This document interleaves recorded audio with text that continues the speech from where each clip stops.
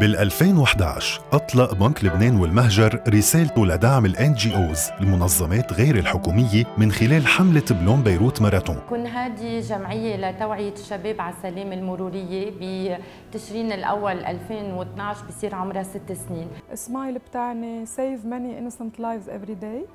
فكرتها إنه ننشر التطوع بكل أرجاء الوطن ونعلم الطلاب أو الشباب يلي أعمارهم بين 14 و 24 وهدفنا ننشر التطوع بكل أنحاء لبنان.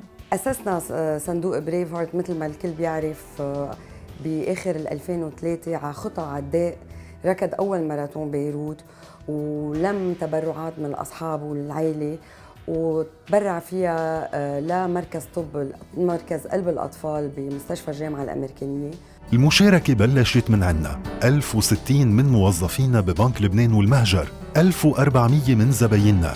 أكثر من 2400 مشارك عن طريقنا. نزلوا على الشارع. ركضوا. لأكثر من 42 قضية إنسانية. وكل واحد اختار قضية للمساهمة بتحقيق أهدافها. مش مهم يركضوا لكن هذه المهم الهدف يكون السلامة المرورية. الماراثون هو آه، وسيلة رياضية بس كمان وسيلة تثقيفية. نحن كل سنة بنكون محمسين نشترك أكيد من سنة لسنة الأعداد أعداد فريقنا بيكبروا. كل طفل كل تلميذ كل شخص عم بيركض عم بيجرب هو على طريقته يلمن أصحابه على كل آه كيلومتر بيركضوا. شوية تبرعات اللي بخصصهم لهالأطفال. الطرقات ما كانت سيئتهم ركضوا ليوصلوا هالقضايا لخط النهاية نهاية كل وجع.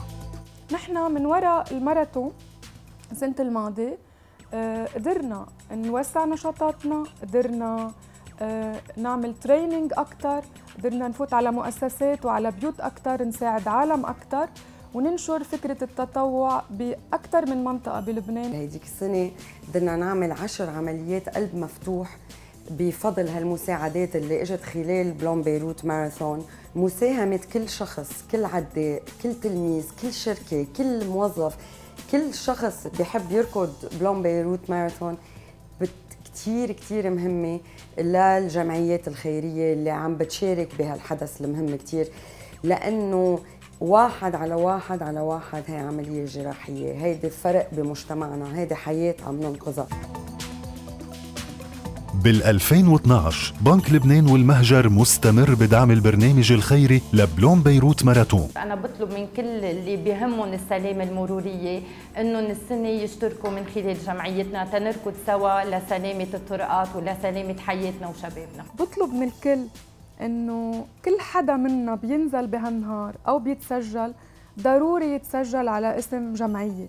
لأنه عم عم بيساعد عم بيساهم بأن هالجمعية تتقدم تتقدم وتحقق أهدافها وتنجح أكثر وسوا وبإذن الله بنركضها كلها.